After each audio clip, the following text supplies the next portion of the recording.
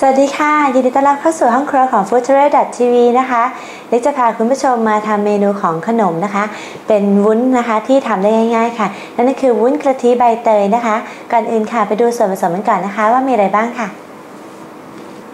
สำหรับส่วนผสมนะคะจะมี 2 ส่วนนะคะ คือส่วนหวานและส่วนเค็มนะคะ ส่วนหวานจะมีน้ำใบเตยค่ะ น้ำตาลทราย ผงวุ้น และส่วนเค็มนะคะจะมีกะทิ เกลือป่นและผงวุ้นค่ะ มาถึงวิธีทำนะคะ เราจะต้องแยกหม้อนะคะ2ใบสำหรับส่วนหวานและส่วนเค็มนั่นเองนะคะ ส่วนหวานนะคะเราจะเติมในส่วนของน้ำใบเตยนะคะสำหรับน้ำใบเตยนะคะ ได้มาจากการนำใบเตยนะคะ ไปปั่นในเครื่องปั่นนะคะ รวมกับน้ำเปล่าจนละเอียดนะคะ จากนั้นก็กรองนะคะ ก็จะได้น้ำใบเตยเข้มข้นแบบนี้ละค่ะ เติมน้ำตาลทรายลงไปนะคะ ตามด้วยผงวุ้นค่ะ ทีนี้ก็คนให้เข้ากันนะคะ ตอนนี้นะคะยังไม่ต้องเปิดแก๊สนะคะ เราแค่ต้องการให้ส่วนผสมเนี่ยเข้ากันดีซะก่อนนะคะ ตอนนี้เราก็ได้ส่วนหวานแล้วเราก็พักไว้ก่อนนะคะ ตอนนี้ก็ย้ายมาที่หม้อของส่วนเค็มค่ะ เติมกะทิลงไปนะคะ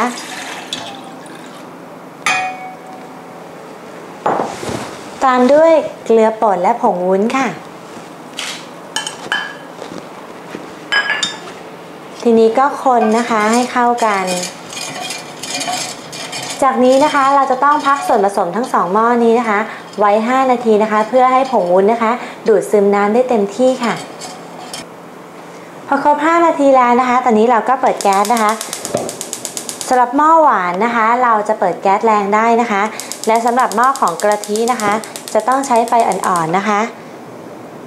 สาเหตุก็เพราะว่ากระทิค่อนข้างจะไหม้ได้ง่ายนะคะ เพราะฉะนั้นเราก็จะใช้ไฟอ่อนสำหรับหม้อเค็มนั่นเองค่ะ ส่วนหม้อหวานซึ่งเป็นหม้อใบเตยนะคะ ใช้ไฟแรงได้นะคะ ตอนนี้ก็ใช้ 2 มือของเราให้เป็นประโยชน์นะคะ คนแบบนี้ไปเรื่อยๆ ค่ะ จนกว่าส่วนผสมทั้ง 2 หม้อนี้นะคะ จะเริ่มเดือดค่ะ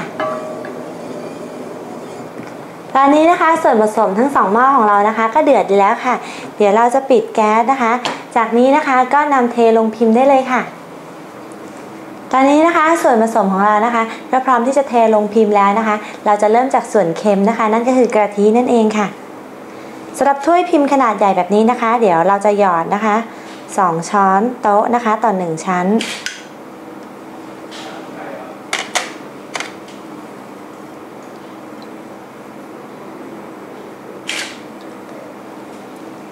สำหรับถ้วยพิมพ์ขนาดเล็กนะคะ เดี๋ยวเราจะหยอดชั้นหนึ่งประมาณ ครึ่งช้อนโต๊ะก็พอนะคะ เมื่อหยอดเสร็จนะคะ ในชั้นแรกนะคะ จะต้องพักประมาณ 3 นาทีนะคะ ให้วุ้นเนี่ยเซตตัวซะก่อนค่ะ ถึงจะเริ่มหยอดในชั้นต่อไปได้ค่ะหลังจากผ่านไป 3 นาทีนะคะ ตอนนี้กระทิชั้นแรกของเรานะคะ ก็อยู่ตัวดีแล้วเทสได้นะคะ ใช้มือแตะดูนะคะ ไม่มีน้ำกะทิติดมานะคะ แสดงว่าเซ็ตตัวดีแล้วค่ะ ตอนนี้เราจะเริ่มในชั้นที่ 2 นะคะ นั่นก็คือส่วนหวานหรือว่าตัวของใบเตยนั่นเองนะคะสำหรับพิมพ์ใหญ่นะคะ หยอดลงไป 2 ช้อนโต๊ะค่ะ และพิมพ์เล็กนะคะ ครึ่งช้อนโต๊ะค่ะเหมือนเดิมนะคะ เราจะต้องรออีก 3 นาทีนะคะ จนกว่า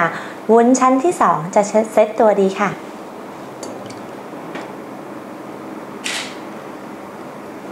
ตอนนี้นะคะในส่วนที่2นะคะนั่นก็คือส่วนของใบเตยนะคะ ก็เริ่มอยู่ตัวดีแล้วค่ะ เดี๋ยวเล็กจะเติมในส่วนของกะทินะคะ เราจะเติมสลับชั้นแบบนี้ไปเรื่อยๆนะคะ จนกระทั่งเต็มพิมพ์นะคะ และนำเข้าตู้เย็นอย่างน้อย 1 ชั่วโมงนะคะ จากนั้นถึงจะนำออกมาเสิร์ฟได้ค่ะ